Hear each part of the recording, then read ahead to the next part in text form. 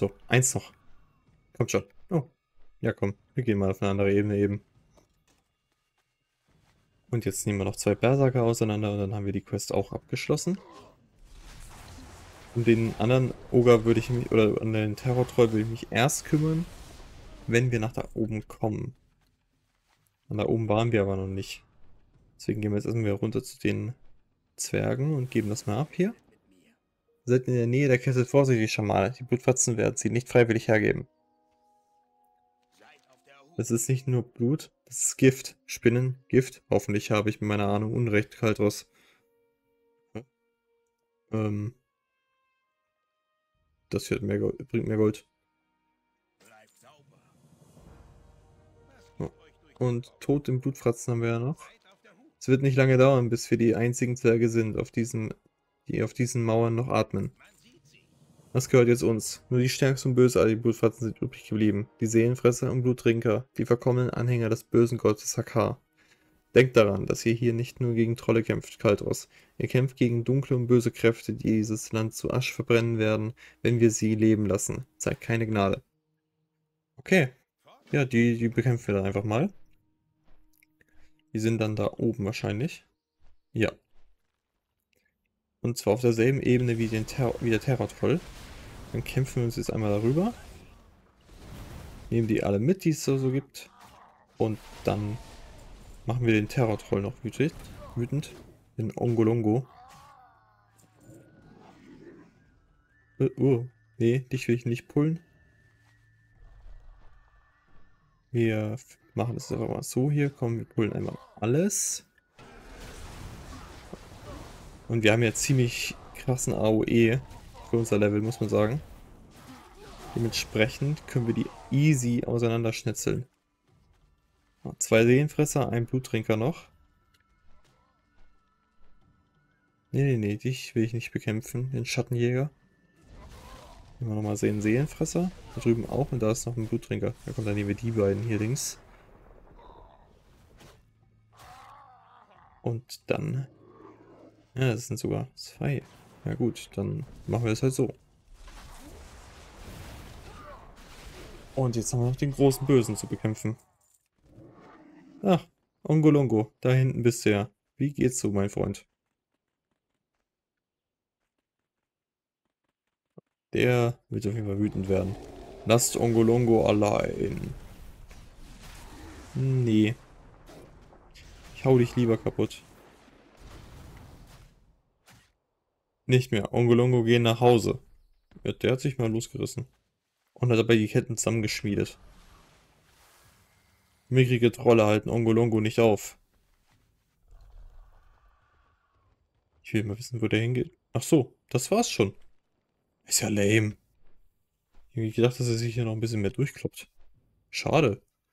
Na gut, dann fliegen wir wieder runter zu denen. Und tun wir gleich mal noch unsere Buffs wieder erneuern.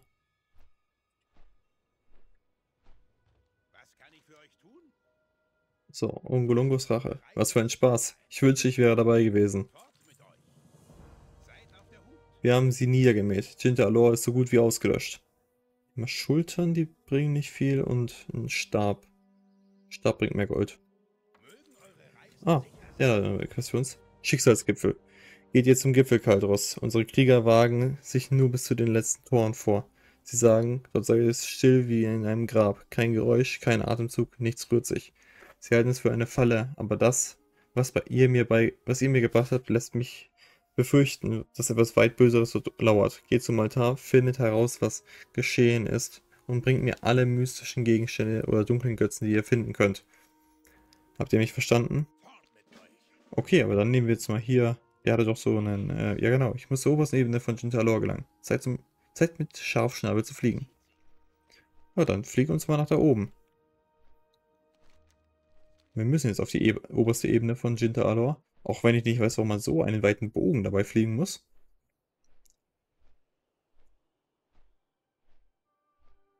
Aha. Ach, gehen wir von hinten rum rein. Ah. Ich habe einen Altar von Sul. Aha. Ah ja. Das ist natürlich clever, jetzt so einfach hier oben reinzugehen. Und wahrscheinlich werden wir jetzt gleich abgemountet, wenn wir hier drin sind. Nee? Ah ja. Faszinierend. Zehenfresser und Blutfratzen. Ähm. Ja gut, das sind ein paar Tote. Spinnengötzen.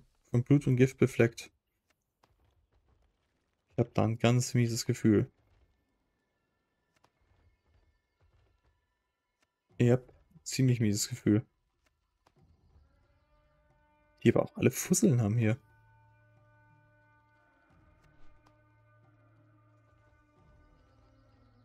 Blut von Chadra. Oh, das ist ein, wie ist das? Das ist ein ganz ungünstiges oben. Okay, dann fliegen wir einfach mal wieder runter. Wir nehmen nicht nochmal den Weg da außen rum, auch wenn das jetzt eigentlich ganz praktisch war. Das dauert zu lang. Was habt ihr gefunden? Tot, alle in der Nähe des Altars und sie hatten diese Spinnengötzen bei sich. Das ist Chadra, die Spinnenloa.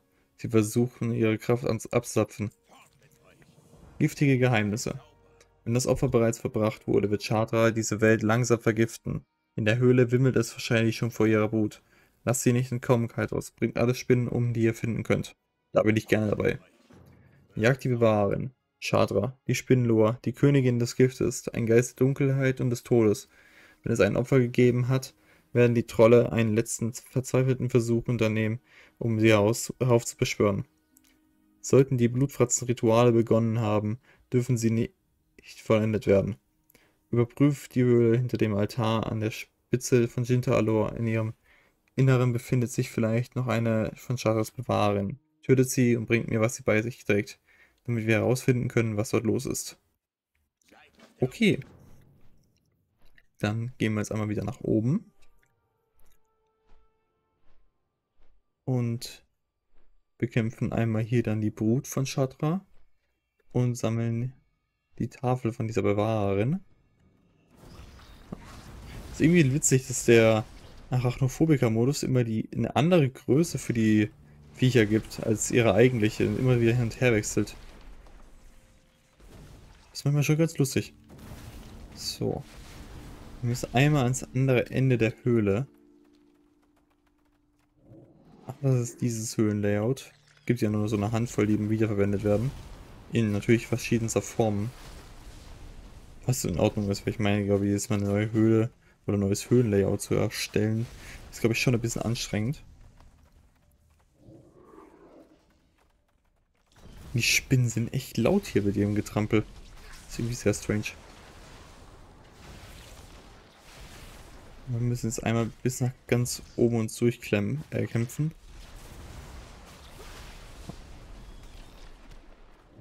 Das heißt einmal hier jetzt lang. Hier oben rum. Ja, ja dieses Spiel ist viel größer. Habe ich mich ein bisschen erschreckt. Sind sie wieder kleiner. Kleiner ist natürlich immer noch am mir am liebsten, aber naja, was soll's. Da ist die Bewahrerin. Motagia, die Bewahrerin. Aha. Es muss schon irgendwie so ein Petis sein, sich so von Spinnen umgeben, also so von Spinnen umgeben sein zu wollen. Rattenblitz, ja, das machen wir mal nicht. Oh. Gute Nacht.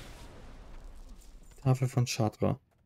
Ja. Kann man nichts mit anfangen. So, wir rennen jetzt einfach hier durch. Einen schnellen Weg nach draußen.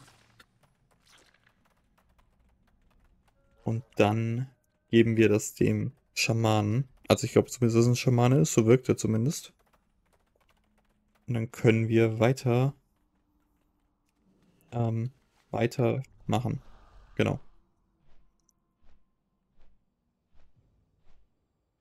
Kidoki. Dann müssten wir eigentlich in Jintaro selbst fertig sein. Dann werden wir wahrscheinlich gleich zum Altar von Sul geschickt, wenn ich mich recht entsinne. Oh. Giftige Geheimnisse. Die sind wir los. Mögen diese schrecklichen Wesen nie wieder unser Land betreten.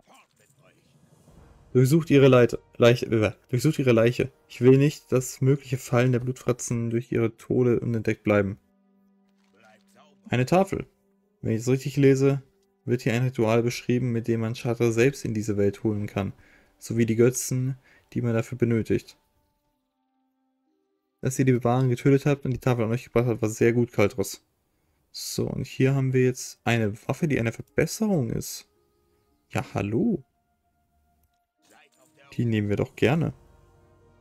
Und dann legen wir das einfach mal hier hin zum Aufheben für später. So. Hatten wir nicht noch andere Rüstungserbstücke? In der Tasche, meine ich? Habe ich die weggetan? Hm. Na gut. Ja. Fern, Fährtenleser Joro. Jagdhütte Quell Nil. Es mag euch fern der Heimat erscheinen, Schamane, aber ein großer Teil meines Volkes wurde von Botschafter Hualet hierher geführt. Wir haben uns bei den Hochelfen der Jagdhütte Quell Danil im Nordwesten niedergelassen, um den Weg des Lichts zu erlernen und die friedliche Schönheit des Landes zu genießen. Ein derartiger Frieden könnte sehr kurzlebig sein. Wir haben gesehen, dass die Horde sich weiter nach Westen bewegt hat, äh, bewegt. Könntet ihr nach Quell Danil reisen und nach Anakoretin Draska warnen. Ihre Hütte befindet sich etwas nördlich des Hauptgebäudes. Mhm. Und das mit äh, Charter, lassen wir einfach mal so stehen? Okay. Gut, dann gehen wir jetzt aber erstmal zu diesem äh,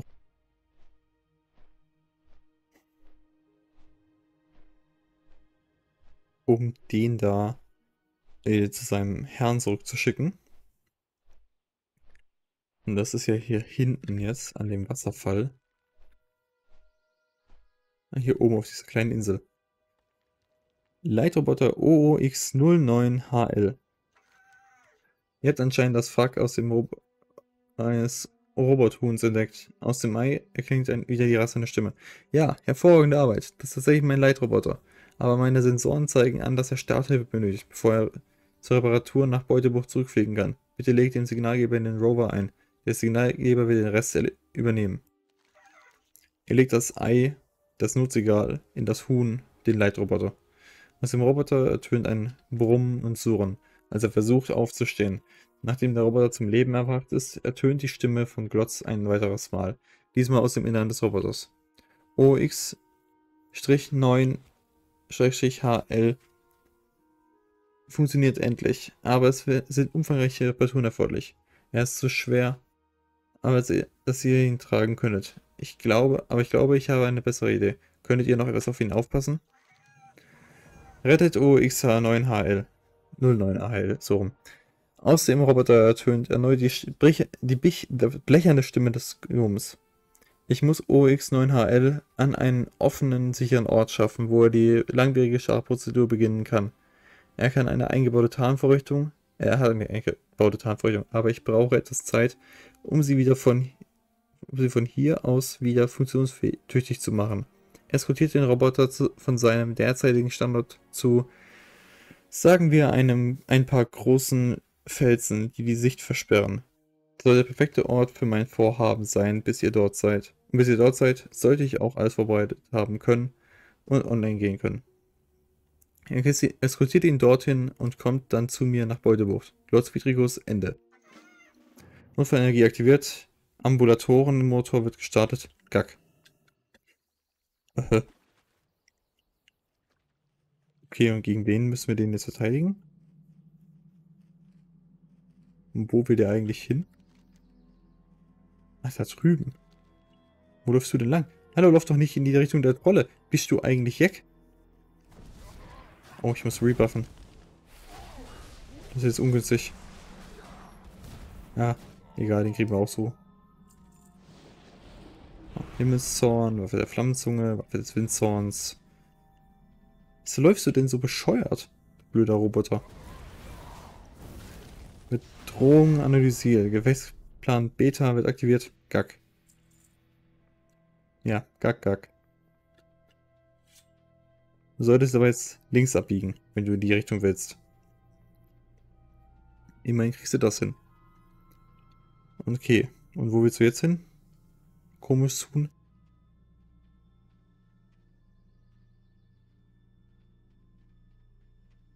Mhm. Los, schneller. Oder ich verarbeite dich zu einem Braten. Obwohl ich da wird wahrscheinlich ein bisschen blechern schmecken. Ja, wahrscheinlich ist einfach nur sehr eisenhaltig letztendlich. Eisen ist auch wichtig. Okay. Ich muss schon mal sagen, ich hasse Escort-Quests. Weil immer der NPC langsamer läuft als man selbst. Immer.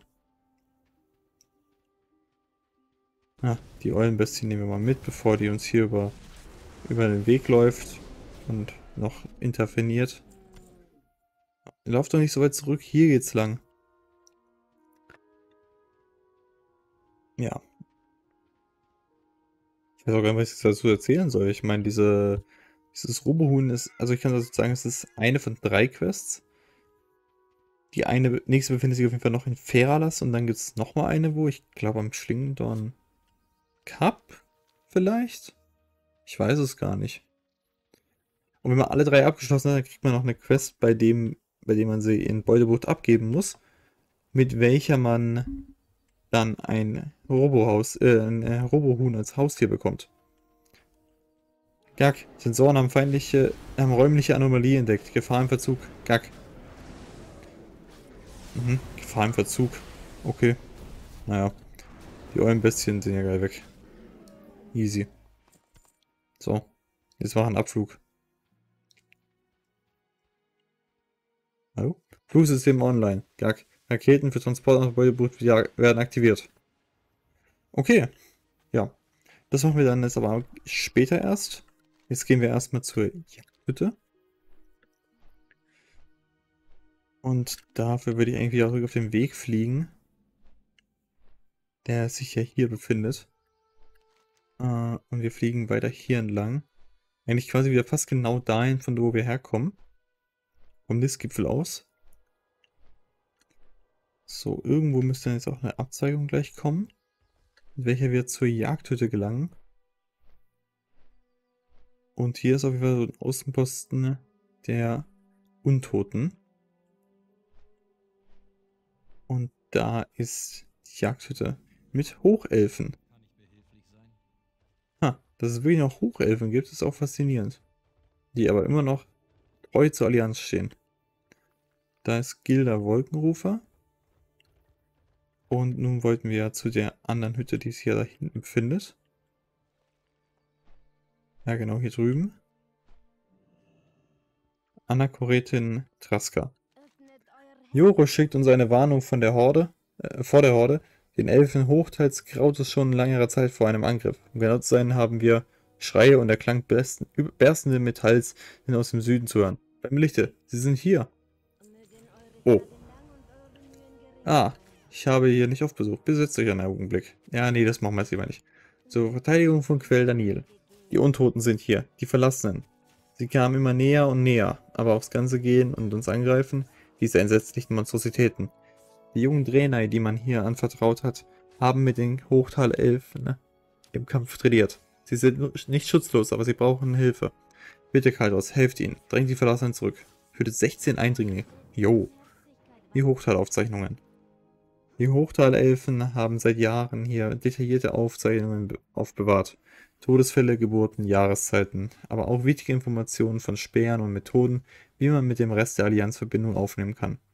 Diese Aufzeichnungen werden in dem Chaos verstreut werden. Wenn sie in die Hände der Verlassenen fallen, könnten noch mehr Leben auf dem Spiel stehen. Bitte, ihr müsst die Aufzeichnungen finden, bevor sie der Horde in die Hände fallen. Ja, das kriegen wir hin. So. Ähm. Dann kämpfen wir uns hier mal durch. Und die Aufzeichnungen, die befinden sich hier an mehreren Stellen. Ja, wir kämpfen uns durch auf dem Weg zu den Aufzeichnungen, würde ich sagen. Einmal hier oben haben wir. Müssen wir in die Hütte rein. Dann gehen wir einfach hier lang.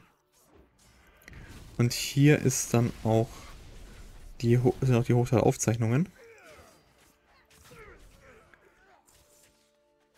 Ah, was haben wir denn hier? Hochtal-Aufzeichnungen. Aufzeichnungen über die Vorräte von Hochtal und Allianzkontakte. Mhm. Ich glaube, da hinten am Ende dieses Hauses wird da noch mal was sein. Dann kämpfen wir uns jetzt einmal hier komplett durch.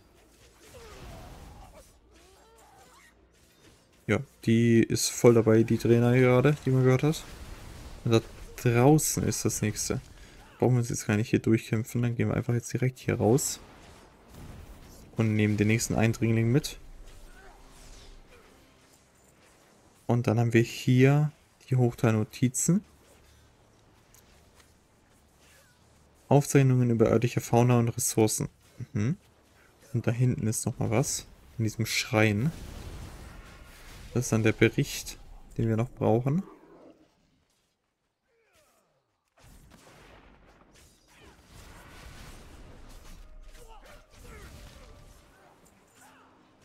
Und sind wir hier Informationen über den Stamm der Bruchhauer und strategische Stützpunkte.